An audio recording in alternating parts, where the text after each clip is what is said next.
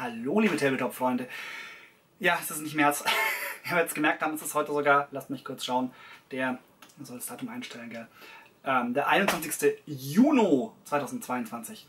Ähm, was war los? Im Februar habe ich noch ein Video rausgebracht und gesagt, hier, voll die Ideen, bam, bam, bam, jeden Monat ein Video. Manchmal kommen Dinge dazwischen. Manchmal ist es das Leben. Also, es ist nichts passiert, es war einfach noch viel los. Ja? Ähm, sprich, die Zeit abends war teilweise, weil unsere Kinder Mittelschule mitgemacht haben, sprich, das war einfach abends stressig wie Sau. Und ihr kennt es auch mal selbst, die Motivation zum Malen ist manchmal schon schwierig, dann die Motivation, Sachen zu filmen, zu schneiden, hochzuladen, ist manchmal noch weniger da.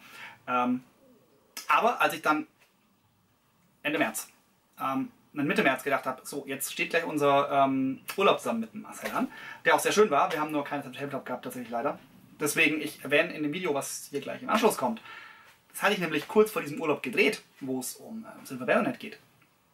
Gemeint, ah, hier, ich packe die zwei Banden ein und wir spielen das und dann gibt es einen Testbericht und ein Spiele auf, äh, ein, ein Testspiel, so mit Bericht, jetzt, sorry. Ähm, den gibt's nicht, weil wir haben es nicht geschafft. Wir waren ganz viele Ausflüge machen, wir haben viele andere Sachen gemacht und gespielt, aber wir haben keine Zeit für Tabletop gehabt. Ähm, heißt, ich habe Silver Baronet immer noch nicht gespielt. Nein, ich werde es dann nächstes Mal anspielen. Ähm, das kann man ja auch solo spielen, das ist ganz schön. Ähm, ich habe es noch nicht fertig bemalt. Ich bin fast fertig, fast. Mal schauen, die nächsten Tage werden sie fertig. Ähm, so, dann sind wir irgendwo bei kurz vor Ostern. Und Ostern ist schon wieder lang her, Pfingsten ist schon vorbei. Ähm, wir haben Juni, Ende Juni schon fast. Dann habe ich mir gedacht, so, Video ist gedreht. Eben Bericht zu Silver Burnett, ihr gleich seht. Oder den ihr gleich seht. Mm, dann muss ich jetzt nur noch schneiden und hochladen und tschack und dann geht's rund. Ja, dann habe ich mein Schnittprogramm aufgemacht und es hat gesagt, Update. Habe ich gemacht habe ein Update reingeladen. Mm. Und dann hat es mir gesagt, geht nicht, weil dein Grafiktreiber, den finde ich nicht. Okay. Dann habe ich mir ein Wochenende Zeit genommen, naja, okay, einen Abend von einem Wochenende Zeit genommen ähm, und alles versucht. Windows-Updates gefahren, ähm, alles mögliche probiert, rum, rumgebastelt und getüftelt. Und dann hatte ich keine Lust mehr. Dann habe ich mich die letzten Wochen mal umgeschaut nach einem Ersatzprogramm, was ich dann sonst nehmen könnte, was ich mich einarbeiten möchte und so weiter. Und habe mir gedacht, na, hm, na, ist alles nicht so geil. Ähm, ich habe den, den DaVinci Pro, glaube ich, heißt es, ähm, drauf. Und der ist schon ein bisschen komplex, aber der ist geil. Also der kann viel und deswegen, eigentlich habe ich mich in den schon eingearbeitet und eigentlich will ich nichts anderes benutzen. Ja, dann habe ich halt mich nochmal hingesetzt. Nochmal geschaut, nochmal Updates aufgespielt. Ähm, das ging immer noch nicht. dann habe ich gesehen, halt, es gibt von dem DaVinci Pro die neue Version. Ich glaube, die 18er war das dann inzwischen. Ich hatte noch die 16er drauf. Mach mal halt die 18er drauf, vielleicht hilft es ja was. Drauf gespielt, ja, es ging immer noch nicht. Aber diesmal hat das System wenigstens nicht nur gesagt, ich finde deine Grafik-Dingsbums nicht, sondern hey, der Treiber, den du auf deiner Grafikkarte hast, mit dem kann ich nicht arbeiten. Mach was anderes drauf. Und dann, dann sind mir Ideen gekommen. Warum nehme ich nicht einfach den Grafiktreiber vom Hersteller der Grafikkarte und nicht die doofen Windows-Treiber? Ja, gesagt, getan. 20 Minuten später hat die Treiber installiert. Ratet, was wieder geht? Richtig, mein Schnittprogramm und ganz viele Spiele, die vorher nicht mehr funktioniert haben. Und dann noch War Thunder, das nicht gut ist für mich, weil, weil ja, War Thunder und Figürchen, das, das konkurriert so ein bisschen. Nein, ganz schlimm ist es nicht. Aber heißt, ich kann wieder Videos schneiden. Deswegen seht ihr mich jetzt hier. Und jetzt kann ich hoffentlich auch mein Versprechen, ein Video im Monat so grob einhalten. Ähm, nicht zu lang labern, weil ich sehe schon, ich habe jetzt schon wieder ein paar Minuten aufgenommen. Ähm, fast vier Minuten und ich denke mal, ihr wolltet das Video zu Silver Baronet sehen. Also nicht enttäuscht sein, das Testspiel gab es noch nicht. Ich werde vielleicht am kommenden Wochenende mal ein, Solo-Spiel machen und wenn es gut funktioniert, da mal ein Testspiel aufnehmen, ein kleines zumindest. Ähm, ansonsten, was gerade geplant ist, ist eine kleine Videoserie zum Thema Tabletop für Noobs. Ja, also nicht für Leute, die von Tabletop keine Ahnung haben. Was ist es überhaupt? Warum malen die erwachsenen Menschen da Figürchen an? Und warum, was machen die da überhaupt? Und, und wie, wie komme ich da rein und was gibt es da alles? Wirklich, ich habe eine gute Freundin, die ist, ähm, macht selber Live-Rollenspiel sehr viel. Ähm, findet die Figürchen cool, aber von Tabletop keine Ahnung. Und die hat gemeint, mach, mach doch mal so, so ein Anfängervideo, weil ich habe von Tabletop null Ahnung. Erklär doch mal, was ist das überhaupt? Was gibt's da? Was für Genres gibt's? Was für Maßstäbe gibt's? Wie finde ich Einstieg in das Hobby? Was gehört zum Hobby? Ähm, wie kann ich anfangen? Und so weiter und so weiter. Und da will ich mal eine kurze Reihe machen. Das heißt, wenn ihr dazu Ideen habt, da unten reinpacken. Ähm, apropos da unten reinpacken. Nach den letzten Videos habe ich, lasst mich kurz gucken, mehr wie zehn Nachrichten bekommen.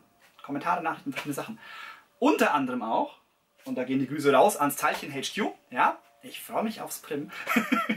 ähm, ganz viele Sachen. Also tendenziell, ja, ich lese die Nachrichten, wenn mich mein E-Mail-Programm reinlässt. Jetzt geht's wieder, das hat man nicht funktioniert. Ähm, ich antworte leider nicht immer auf alles. Manchmal vergesse ich es und vergesse es dann und denke mir so, ah, mach ich morgen und ja, morgen ist dann irgendwie in vier Monaten. Ähm, das heißt, wenn ihr mal eine Antwort von mir möchtet und ihr kriegt keine, tretet mich nochmal. Das ist, dann nehme ich auch nicht böse, ja? Das ist einfach, manchmal dauert es ein bisschen. So, genug geschwafelt. Viel Spaß mit Silver Bayonet.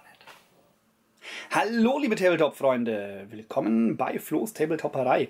Ähm, ja, ihr habt meine zwei letzten Videos dieses Jahr schon gesehen. Ähm, da habe ich ganz viel erzählt, was ich gerade mache, was ich plane, was meine Projekte sind und so weiter. Und ich habe euch gefragt, ja, was wollt ihr denn sehen? Weil, ich meine, alle, die selber einen Kanal haben, wissen es. Manchmal ist es echt schwer zu überlegen, was für Content möchte ich machen. Und ich kann ich gar nicht mehr sagen, wer es gefragt hat, aber eine Frage, die kam, und da ich so mit, eigentlich auch die einzige, die kam, ist, oh, was Frage, eine Bitte war es eigentlich mehr, mach das da mach das Silver Bayonet. Zeig uns das mal ein bisschen mehr. Zeig uns mal so ganz grob, was ist das, was kann das, was braucht man, was machst du damit? Also, ich interpretiere das gerade in diese Aussage rein. Stand da natürlich nicht alles, aber genau. Und das tun wir jetzt. Soll gar kein langes Video werden. Ich denke mal so Viertelstunde. Schauen wir mal, ob ich das schaffe. Beim letzten Mal hat es nicht geklappt, aber ist ja auch egal.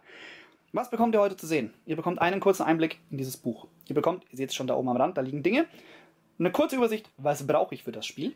Ähm, und meine zwei Banden, die ich da schon stehen habe, noch nicht ganz fertig bemalt, aber äh, kurz davor, sie fertigzustellen, welche ich gemacht habe, was meine Idee dazu ist und was ich noch im Kopf habe, was ich machen möchte. Und dann, wie es weitergeht mit dem Kapitel Silver Bayonet, sage ich euch am Ende des Videos.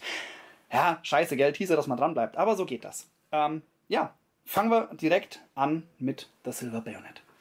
Wunderschönes Buch, ähm, geschrieben von Joseph A. McCulloch, ist der gleiche Mensch, der ähm, Frostgrave und Stargrave und so gemacht hat, oder macht, der lebt ja noch, also ist ja nicht tot, ähm, hat ein anderes Skirmish-Game rausgebracht, das eben zur Zeit Napoleons spielt, aber auch so die klassischen, ich sag jetzt mal, ja, nicht, nicht die klassischen Horrorfilm-Elemente, aber so die klassischen Fantasy-Horror, Gothic-Horror-Elemente mit reinbringt. Also eben Vampire, Werwölfe, Dämonen und so Sachen.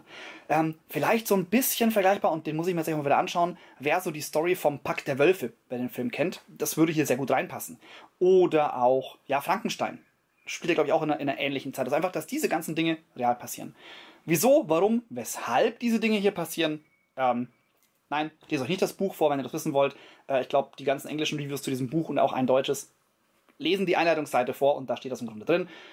Einfache, simple Sache. Es gibt Dämonen. Ich mach's mal auf, dieses wunderschöne Buch. ihr seht ja schon den nächsten Punkt am wunderschönen Buch. Äh, ist außen Fake-Leder. Hier mit so schön bedruckt. Sieht super schön aus. Dann innen dieses wunderschöne Marmorpapier. Ähm, ist ein richtig hochwertiges Buch. Also gefällt mir richtig, richtig gut.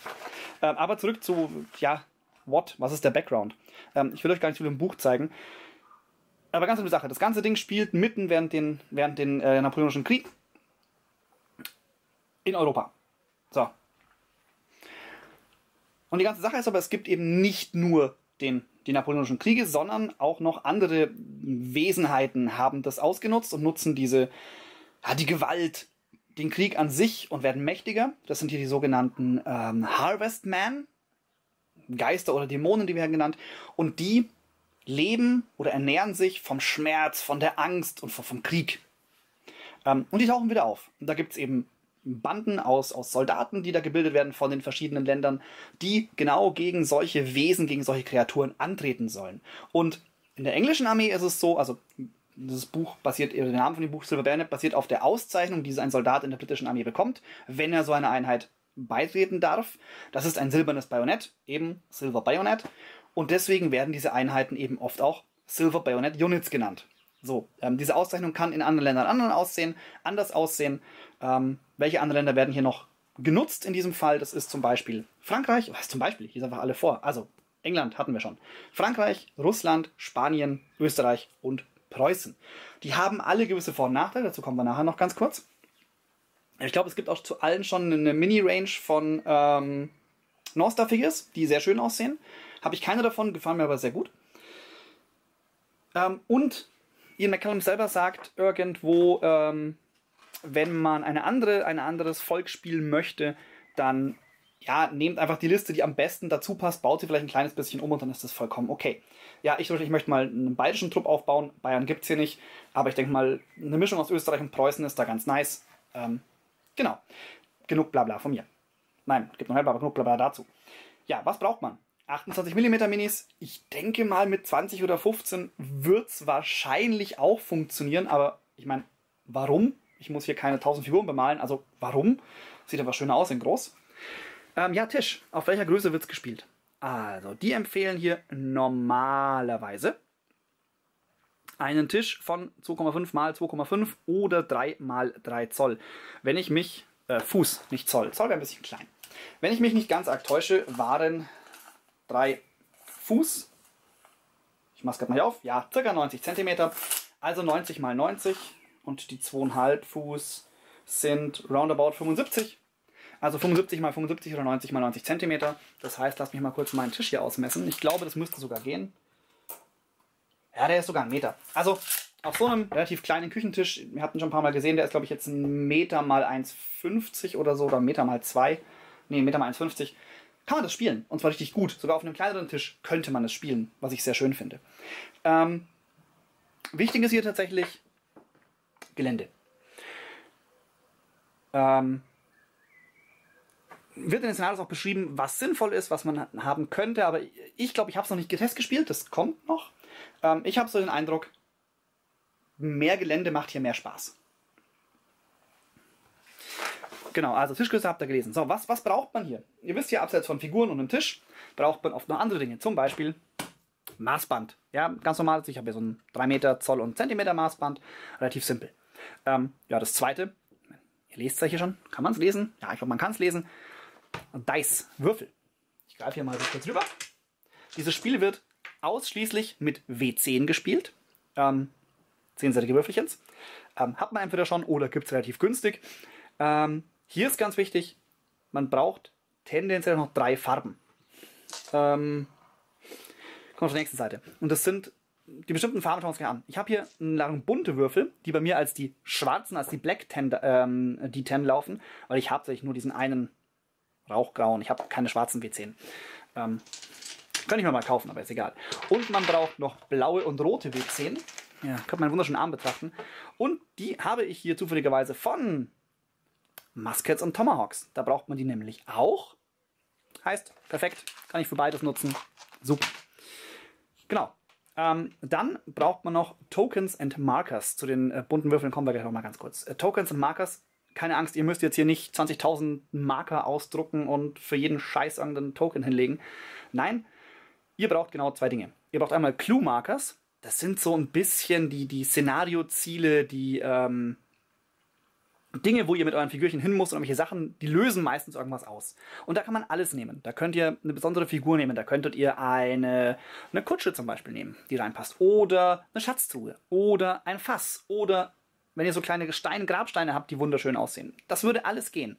Ich habe jetzt hier gerade für das erste Testspiel ein paar alte Münzen rausgesucht. Ähm, die passen, die sind zwar nicht ganz so alt wie, ähm, wie, wie das, äh, das Spiel spielt, also es sind keine napoleonischen Münzen, nee. Ähm, aber einfach was, was ganz klar ein Missionsmarker sein kann. Und ihr braucht Fatigue-Tokens, also Erschöpfungs-, Ermüdungsmarker. ja, da könnte, ich habe hier so grüne Plastiksteine nehmen, das wäre eine Möglichkeit. Ähm, oder hier so, höher, Hilfe, Kieselsteine, die fliegen auch gut. Genau, Kieselsteine wäre auch eine Möglichkeit. Oder hier von Bolt Action die ähm, Treffermarker würden auch funktionieren. Ähm, tendenziell, ich, ich meine, Fatigue kann gesammelt und aufgebaut werden. Bin ich mir aber tatsächlich nicht ganz sicher. Aber dann würden auch hier so klassische einfache W6 funktionieren. Da sie nicht als Würfel benutzt werden im Spiel, kann ich sie einfach als Fatigue-Marker benutzen. Ähm, all das ist natürlich möglich. So, Genau, ich habe schon gesagt, es gibt verschiedene Farben bei den Würfeln. Da kommen wir jetzt noch mal ganz kurz dazu. Es gibt Skill Dice, also Fähigkeitswürfel, ähm, in Rot. Power Dice, also Kraft, Stärkewürfel in äh, Blau und Monster Dice in Black eben. Die sind bei mir jetzt hier bunt, weil ich habe noch keine schwarzen, aber das ist okay. Ähm, für was die genau wichtig sind, werde ich euch dann genau erklären, wenn ich es mal Test gespielt habe. Ähm, aber die braucht man da eben. Genau, dann ein Deck of Cards. Ähm, und zwar ein ganz normales, klassisches Deck of Cards. Ihr seht es da oben schon rumliegen. Ähm, Das ist hier so ein ganz klassisches Spielkartendeck. Ihr braucht da auch nicht alle. Ähm, die werden tatsächlich eigentlich nur benutzt, um herauszufinden, was so ein Clue-Marker macht, wenn ihr den aufdeckt. Da wird nämlich einfach aus einem vorher im, im Szenario festgelegten Deck an Karten eine gezogen und das, was dann da dabei steht, das passiert. Relativ simpel. Ähm, was braucht ihr noch? Eine Unit Sheet. Ja, die Dinger sehen so aus. Ähm, kann man sich äh, runterladen. Ich meine auf der Osprey Games Homepage. Ähm, ich glaube, ich habe mir die jetzt einfach rauskopiert. Ja, gar kein Problem. Und einen Stift. Ja, also die klassischen Sachen, die man halt so braucht. Genau, wir gucken es mal noch kurz ein bisschen durch. Ähm, genau, und das Buch geht auch dann nach der kurzen Einführung, was brauche ich alles? Und hier muss ich sagen, dieses Buch ist, also ich glaube, dass dieses Spiel super für Einsteiger geeignet ist. Warum? Weil, wie auch schon Frostgrave und Star, Stargrave, habe ich mir sagen lassen, das ist auch so, habe ich noch nicht in der Hand gehabt, aber bei Frostgrave ist es definitiv so. Es ist sehr einfach gehalten. Ähm, es erklärt, auch wenn es auf Englisch ist, es erklärt in einer relativ einfachen Sprache sehr gut und sehr ausführlich, wie so ein Tabletop Wargame funktioniert. Das heißt, für euch, die schon ein bisschen länger Tabletop machen, ist es so ein bisschen, ja, weiß ich, kann ich schon, Dankeschön. Aber tatsächlich nimmt es einen wunderschön an der Hand. Und es nimmt eben auch Neulinge wunderschön an der Hand und, und führt dich wirklich so Stück für Stück durch. Hey, was brauche ich alles? Wie mache ich mir eine Einheit? Was ist, was ist wichtig? Was ist nicht wichtig? Und so. Ähm, und er geht hier auf wunderschöne Sachen ein. Also er geht fast auf alle Punkte ein, wo ich mir vorher gedacht habe, boah, funktioniert das? Ja, Klassiker. Ich bin tatsächlich, wenn ich Figuren anmale und die im historischen Kontext anmale, dann bin ich da ein gewandungsnah, Punkt, Punkt, Punkt, ihr wisst schon. Kennt dieses Wort oder auch Knöpfchenzähler, sagt man auch so schön. Dann suche ich mir Vorlagen, recherchiere ich ein bisschen und dann sollen die Uniformen schon relativ nah am Original sein, weil ich es geil finde. Ja? Manche machen das nicht, manche machen das. Ich finde es schön, ich habe da Spaß dran. Ist ja auch okay, jeder wie er möchte. Ähm, sehe schon, Viertelstunde schaffen wir wieder nicht heute. Ich laber schon wieder zu viel, aber 20 Minuten kriegen wir hin. Ähm, füge ich noch nachher an. So, das muss aber nicht sein. Er beschreibt dir ganz klar, warum. Ja, man kann einfach sagen, hey, die haben so viel durchgemacht, die sind schon so lange in so einer Truppe, die, die haben sich angepasst, die haben andere Sachen genommen, um sie anzuziehen und so. Ihr müsst die nicht historisch korrekt bemalen. Ihr dürft, aber ihr müsst nicht. Und das ist so, finde ich nochmal ganz, ganz nice. Also genau, es gibt hier diese, diese roten, ich glaube, man sieht es ganz, man sieht es einigermaßen, diese roten Kästchen im Buch immer mal wieder und die eben ganz klar auf so eventuelle Problematiken hinweisen, die vielleicht entstehen könnten. Ähm, und das finde ich hier sehr, sehr schön. Genau, ja, dann, dann äh, baut man sich seinen Offizier. Der ist ein bisschen ausführlicher, was man da machen muss. Ähm, dem kann man noch ein bisschen Ausrüstung mitgeben aus der Armory. Ich blätter hier einfach ein bisschen schneller durch. Ähm, dann gibt es nochmal Special Armory mit besonderen Sachen. Da ist dann sowas drin wie kalte Eisenwaffe, ähm, heiliges Symbol, äh, Öl und Fackeln, einen Salzsack und so weiter. Ähm, genau, und dann wählt man sich Soldaten aus. Und jetzt, jetzt kommen die, die Länder ins Spiel. Die verschiedenen Nationalitäten haben eigene Recruitment Lists. Das darf mit bestimmten Ländern nur bestimmte Truppen mitnehmen. Ähm, manche der Truppen sind einmalig. Zum Beispiel Österreich. Österreich kann einen sogenannten Dampir mitnehmen. Ich glaube, das ist ein Halbvampir, wenn ich mich nicht täusche. Ähm, und es gibt, glaube ich, nochmal ein oder zwei Charaktere, die nur von einer Nation mitgenommen werden können. Ja, ich glaube, die Russen haben einen Wehrbären ähm, was ich sehr cool finde irgendwie. Ähm, und andere Einheiten wiederum können von verschiedenen Nationen mitgenommen werden. Ja, wenn wir schon bei Österreich sind, bleiben wir einfach mal dabei. Also Österreich kann zum Beispiel mitnehmen Artilleristen, den besagten Dampier, einen Doktor, einen Grenadier, einen Heavy Cavalryman, einen Infantryman, einen Junior Officer, Light Cavalryman, Okkultist, einen Zapper, einen Supernatural Investigator, einen Tactician und einen Veteran Hunter. Ähm, das sind die Figuren, aus denen ich quasi auswählen kann. Ja, im Vergleich dazu nehmen wir mal, nehmen wir mal Preußen. Wir bleiben mal bei, bei der zweiten deutschsprachigen Nation im Spiel. Preußen kann mitnehmen einen Artilleristen, einen Doktor, einen Grenadier. Die sind gleich, das kommt mir dann auch. Einen, einen Guard oder eine Guard. Dann haben wir auch wieder Heavy Cavalryman, Infantry, Junior Officer, Light Cavalry, Okkultist, einen Rifleman, der ist hier auch besonders, einen Zapper, ja, einen Swordsman können die mitnehmen. Ähm, Genau, ich schau mal, ob ich glaube, in Spanien gibt es dann noch sowas wie einen, ja, Irregular, also quasi einen, einen ähm, na, ja, genau, Wortfindungsstörungen am, was denn heute? Dienstag. Ähm, einen Guerillero, einen Guerillakrieger, quasi. Ähm, was haben wir noch? Ja, einen Marine, einen Native Scout, ähm, Genau, also ganz viele verschiedene Dinge, die man. Ah, Champion of Face, also so einen ja, einen, einen Champion des Glaubens. Ähm, da gibt es ein paar ganz, ganz coole Sachen eigentlich. So, und das Schöne ist, wenn man, es gibt hier wieder eine, seht schon, rotes Kästchen. Es gibt eine optionale Regel, die werdet ihr nachher noch, wenn ich meine Armee vorstelle, ähm, sehen. Wenn ich jetzt sage, wichtig ist, mein Spielpartner muss damit einverstanden sein. Wenn ich jetzt sage, oh, ich hätte aber super gerne in meiner britischen Armee einen irgendwas drin, was ich da eigentlich nicht mitnehmen darf. Dann kann ich vereinbaren, ich darf eine Figur ähm, mitnehmen, die es bei mir eigentlich nicht gibt. Die ist dann aber, ich glaube, doppelt so teuer. Genau, das ist not on the national list to join the union. However, this soldier costs additional 8, 8 Recruitment Points mehr. Also ich muss ein bisschen mehr dafür zahlen, dafür darf ich dann Sachen mitnehmen, die es eigentlich nicht gibt. Wie schon gesagt, werdet ihr sehen, weil ich habe das in einer meiner beiden Banden gemacht, weil ich es eine geile Idee fand. So, dann kommt hier natürlich ganz klar die Soldier List, also sprich die Werte, was haben die mit dabei, was, was für Sonderregeln haben die, welche Werte haben die und so weiter. Das sind ein paar Seiten. Ich gehe jetzt aber schneller durch. So. Genau, und dann geht es auch schon in Playing the Game. Da will ich mich jetzt gar nicht lang aufhalten, weil, wie schon gesagt, ich habe es noch nicht gespielt. Am Ende des Videos dazu nochmal ganz kurz mehr. Das überfliegen wir ganz kurz. Ähm, ja, da wird alles so ein bisschen erklärt, wie funktioniert das, wie geht die Bewegung, wie schieße ich und so weiter. Ich, warte mal, ich blätter es mal kurz durch. Wo geht denn die Campaign los? Da geht die Campaign los, genau. Ähm, ihr seht schon, es sind ein paar Seiten Regeln, aber es ist nicht so schlimm. Es ist wirklich eigentlich sehr angenehm. Ich habe es mir auch schon durchgelesen. Es liest sich alles relativ simpel. Ähm, es gibt ein paar Additional Rules, wenn ich es ein bisschen, ein bisschen komplizierter machen will. Muss ich aber nicht unbedingt. Ähm, nee, ist eigentlich echt ganz gut gemacht. Dann kommt der Abschnitt über Kampagnen.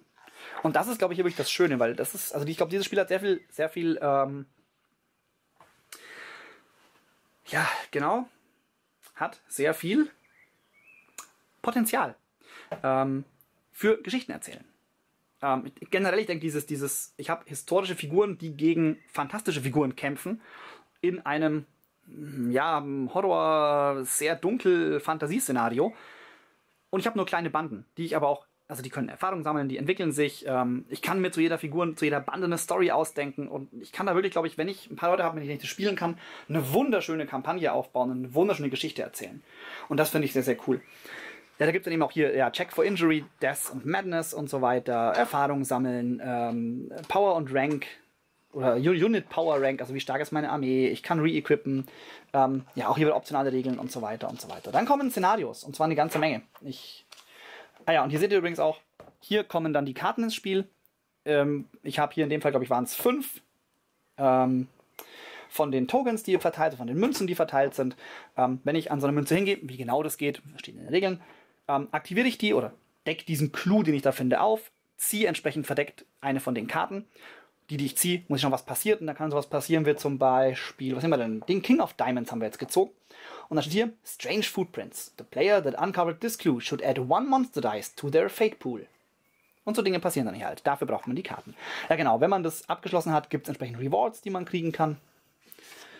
Ja, Szenario 2, Szenario 5. Es sind viele. Oh, jetzt war ich zu schnell. Szenario 9. Das sind, glaube ich, 11, wenn ich mich nicht täusche. Ne, 10, genau. Dann, wie mache ich mir eigene Szenarios? Also was ist hier wichtig? Ja? Establish the story, set up the table, Monsters ähm, und so weiter. Sprich, wie, wie baue ich meine eigenen Szenarien? Und das finde ich schon mal mega. Ja, dann werden hier noch ein paar andere Sachen erklärt. Zum Beispiel, ja, wir, die wir alle Corona gebeutelt sind. Solo-Play. Hier ist direkt eine Anleitung drin, wie ich alleine spielen kann. Ähm, ohne dass ich, dass ich äh, Mitspieler brauche. Und das, glaube ich, könnte hier tatsächlich sehr gut funktionieren. Auch das werde ich mal ausprobieren. Ja, auch Cooperative Play, dass du quasi Solo-Spiel machst, aber halt jeder nimmt drei Figuren oder so und ähm, spielst dann eben entsprechend was. Das finde ich auch ganz nice. Also da gibt es ein paar schöne Ideen. Ähm, ihr seht schon, ich werde das mal hier. Ist das dann die Szenarios für Solo-Play mit ein paar mehr Zufallselementen. Dann kommt hier hinten die Monsterliste. Also was gibt's hier alles?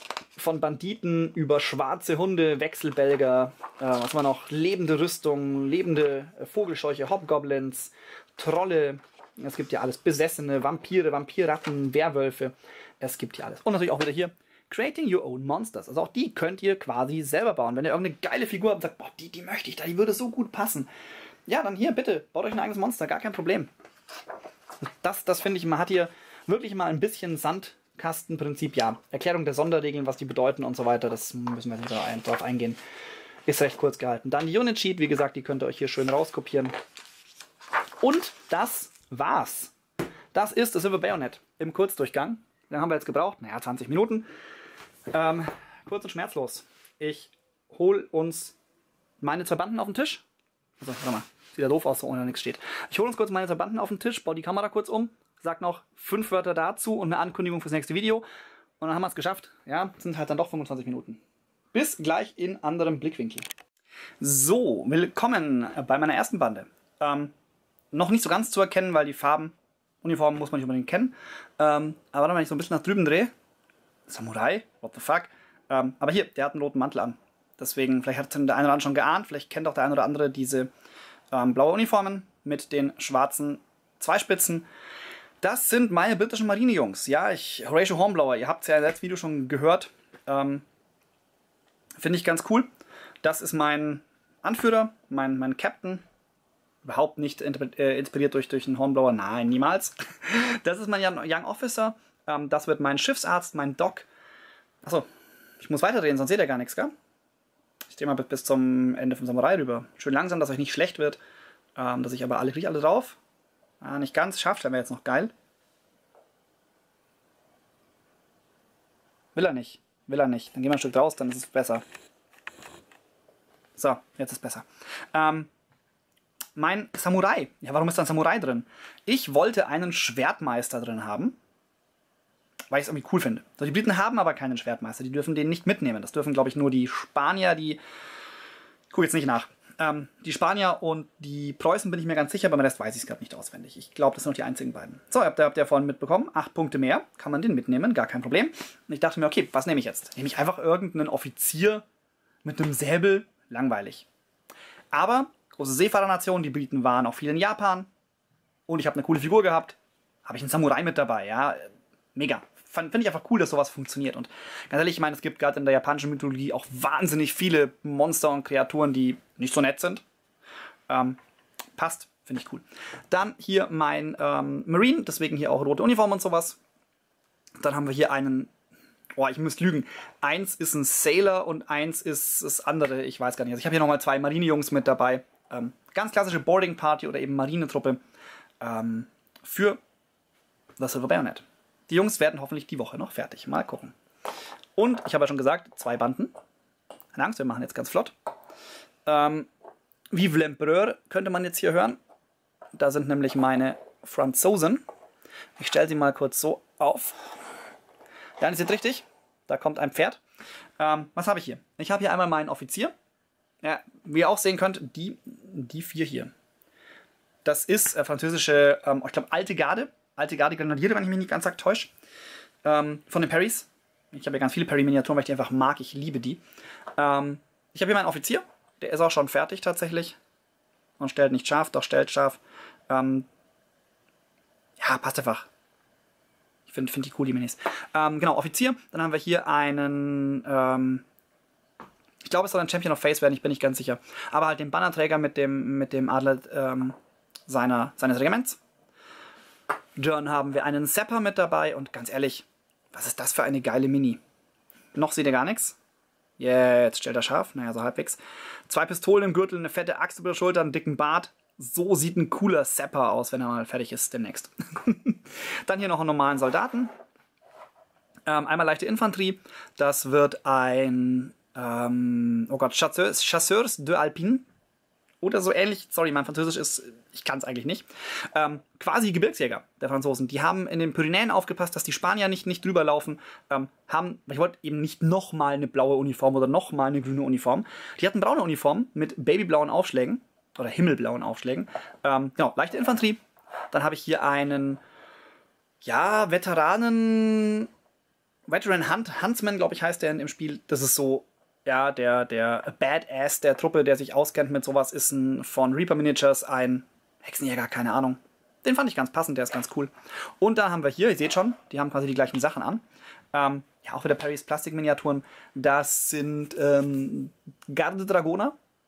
Und das ist quasi die gleiche Mini, weil der kann, kann, er muss nicht Briten ins Spiel gehen und er kann absteigen.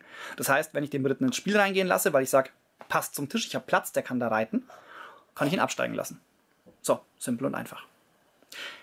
Genau, so viel zu meinen Banden.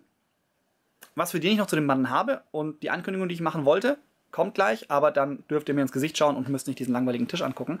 Also, bis gleich. So, zu der Bayonet. Ein erstes Resümee, das doch wieder viel länger geworden ist, als ich gedacht habe. 15 Minuten reichen mir nicht. Aber ich glaube, ihr guckt ja auch ganz gerne ein bisschen länger. Ich gucke auch gerne ein bisschen länger. Also was soll's. Ähm, drei Dinge. Fangen wir damit den Banden an. Was möchte ich noch bauen? Ich möchte ziemlich sicher noch eine preußische Bande bauen. Und da hätte ich Bock auf einen Freikorps, weil ich die irgendwie cool finde. Ähm, irgendwas mit Husaren möchte ich noch, weil ich Husaren an sich ganz geil finde. Hatten die Preußen, also würde passen. Ähm, ich will eine russische Bande, weil, ganz ehrlich, ein Wehrbär, ich habe noch kein schönes Modell gefunden, aber ein Wehrbär? Hallo? ähm, ich möchte. Ah, Österreicher bin ich mir nicht so sicher. Ähm, Spanier? Ja, vielleicht so mit, mit, einem, mit einem Padre und einem fetten Kreuz und dazu Guerilleros und irgendeinen hochnäsigen Adligen. Ha, wäre auch geil, aber auch noch nicht so Top-Ranking. Was habe ich jetzt für Banden vergessen? Garantiert welche vergessen. Gut, dass wir das Buch in der Hand haben, nicht wahr? Ähm, one moment. So, hier haben wir es. Frankreich habe ich da stehen. Russland habe ich gesagt. Spanien habe ich gesagt. Österreich habe ich auch gesagt. Und Preußen habe ich auch gesagt. Ja, passt, alle Banden gesagt. Ähm, gibt es Nationen, wo ich sage, oh, zweite britische Bande, ähm, Rifles. Ich habe hier von, von, ja genau, Wargames Atlantic, Wargames Atlantic, die Riflemen, ähm, auch schon gebaut, schon bemalt, ein Teil davon. Ich bin ein riesen Sharp-Fan, also ja, Richard Sharp muss natürlich eine Bande gegen die bösen Vampire führen, vollkommen verständlich, oder? Die kommen, ja, also sprich eine britische Heerestruppe, ähm, also British Army und nicht British Marines. Navy, sorry. Ähm, was muss noch dazu kommen? Ich fände ja noch eine Sache geil. Ich bin ja gebürtig aus dem schönen Bayernland, also aus dem Allgäu, um ganz genau zu sein. Wohne ich schon lange nicht mehr, bin aber in Bayern aufgewachsen. Und ich mag an sich die bayerische, also die Uniformen der bayerischen Armee zur Zeit Napoleons sehr gerne. Wenn ihr mal in Ingolstadt oder Umgebung seid, das äh, bayerische ähm, Armeemuseum, bietet sich das ja an. Gibt es zwei Stück, gibt es eins im Neuen Schloss und eins im Reduitili. Neues Schloss ist äh, Mittelalter bis irgendwann nach Napoleon. Reduitili ist hauptsächlich Erster Weltkrieg. Lohnen sich beide, sind beides sehr schön, also waren sie früher, ich war schon lange nicht mehr drin, aber sind beide sehr schöne Museen. Und da stehen halt eben auch Uniformen der bayerischen Armee aus der Zeit Napoleons. Was mag ich dran? Zum einen finde ich die Farbe ganz nice, dieses Weiß und das hellere Blau finde ich ganz cool. Und ich liebe diese scheiß Raupenhelme. Ich finde Raupenhelme irgendwie super, mega cool. Ähm, da habe ich schon in dem letzten Video gesagt, es gibt ja Figuren von einem Hersteller, den ich jetzt leider gerade nicht mehr auf dem Schirm habe, wie er heißt. Egal, die kann man wieder kaufen. Der Shop ist wieder online. Ich kann mir die Dinger bestellen. Da lohnt sich auch mal der Zoll aus UK. Das ist dann nicht so schlimm. Ähm, heißt aber, es gibt eine bayerische Truppe. Was mache ich da? Ich nehme Österreich oder Preußen, muss ich noch gucken, was ich nehme. Wahrscheinlich wird es eher Österreich, weil ich den Dampier an sich ganz cool finde. Und ich finde, in Bayern kann man auch Dampiere mit dabei haben. Oder Wolperdinger. Ist ja egal. Ähm, also bayerische, eine bayerische Truppe muss noch her. So viel zu dem, was plane ich hier. Ich versuche die beiden Banden, die ihr gerade vorhin gesehen habt, in den nächsten drei, vier, fünf Tagen fertig zu malen. Zumindest so die zwei, drei Figürchen noch vielleicht fertig kriegen. Das wäre ganz nice. Warum versuche ich das? Naja, ich habe nächste Woche Urlaub. Nichts Besonderes. Das Ostern ist bald. Da hat man halt Urlaub. Ja, Kindergarten ist zu. Das zweite Schöne ist, wir fahren wohin? Bayern, ja, passt. Wir fahren äh, in die Nähe vom Chiemsee. Ähm, auch nichts Besonderes, warum ich jetzt die Figuren fertig malen. Weil ich fahre da nicht alleine hin. Jetzt sagt ihr, ja, Flo, klar, du nimmst die Familie mit. Nein, nein. Also ja, die dürfen auch mit, das ist okay. Aber es kommt noch jemand mit. Und zwar der Marcel. Den kennt ihr schon. Ähm, der wird auch mit seiner Familie mit. Und wir haben gesagt, wir wollen zumindest ein bisschen Tabletoppen abends, wenn wir Zeit haben und unsere Frauen uns lassen. Also so einen Abend vielleicht, wenn wir lieb sind und ähm, brav und so. Dann wollen wir das da testen. Deswegen wenn ich die Figuren noch fertig kriege. Ansonsten, sie sind zumindest nicht mehr blanko Zinn. Das ist ja auch schon mal ganz gut. Heißt aber auch vielleicht, wenn wir Bock drauf haben und die Zeit und den Elan, ein kleines Testspiel zu machen, dass wir die Regeln mal, mal angetestet haben und dann richtig zu spielen und euch ein Spiel aufzunehmen, gibt es vielleicht einen Spieltestbericht als nächstes Video. Vielleicht. Gucken wir mal. Wenn wir das nicht hinkriegen, also entweder wir die Regeln einfach nicht reinkriegen oder nicht die Zeit haben, so lange zu spielen, dass wir es aufnehmen können, oder die Aufnahmen scheiße werden, kann ja auch passieren. Gibt es aber zumindest ein Feedback-Video. Sprich, wie funktionieren die Regeln? wie spielt sich's, wie schnell haben wir gebraucht, um reinzukommen und wie viel Spaß macht's. Weil das ist ja, finde ich, hier immer wichtig. Ich hoffe sehr drauf, dass das hier ein sehr cooles Bier und Pretzel Tabletop ist. Sprich, es einfach Spaß macht, es mal abends eine Stunde zu spielen. Ich hoffe, dass es sehr schnell ist. Mehr weiß ich jetzt auch nicht mehr. Oder? Lass mich kurz überlegen. Nein, mehr weiß ich auch nicht mehr dazu. Ich wünsche euch wie immer Würfelglück, ähm, viel Spaß beim Figurenmalen, beim Spielen, beim neue Spiele testen, beim neue Figuren kaufen, beim Bemalen, Würfeln, you know, äh, was ich meine. Entschuldigung. Freut euch an unserem tollen Hobby. Es ist ein tolles Hobby, es macht Spaß. Ähm, auch wenn es manchmal zu kurz kommt, wenn die Kinder krank sind oder die Kita zu hat, weil alle Corona haben. Ja, ist scheiße, deswegen dauert es mir auch immer ein bisschen länger, dass ein neues Video kommt. Aber seht es mir nach, habt trotzdem Spaß mit den Videos. Vielleicht schaffe ich auch nächsten Monat mal zwei statt nur einem. Wir werden es sehen. Jetzt habe ich genug gelabert. Video ist schon lang genug. Ich wünsche euch einen schönen Morgen, Mittag, Tag, Abend, Nacht, whatever man ihr das Video anschaut. So viel dazu. Ich mache jetzt Feierabend. Euer Flo. Ciao.